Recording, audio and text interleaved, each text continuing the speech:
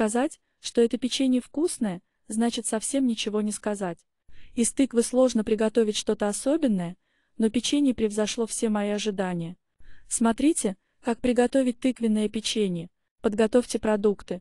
Тыкву очистите от кожуры и внутреннего волокнистого края, вымойте и отвесьте город, положите ее в кастрюльку и залейте водой, варите до мягкости. Количество воды не должно быть большим, чтобы тыква не превратилась в пюре. Можно ее запечь или приготовить на пару.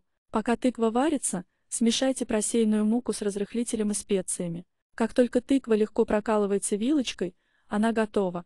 Достаньте кусочки из воды, положите в глубокую посудину, разомните вилочкой. Добавьте сахар и рафинированное масло. Тыквенную смесь соедините с мучной. У меня ушло примерно 1,5 стаканов теста и 0,5 стакана для формирования печенья. Тесто получается немного липкое, разделите его в 8 частей. Посыпьте стол мукой и скатайте тесто в шарики.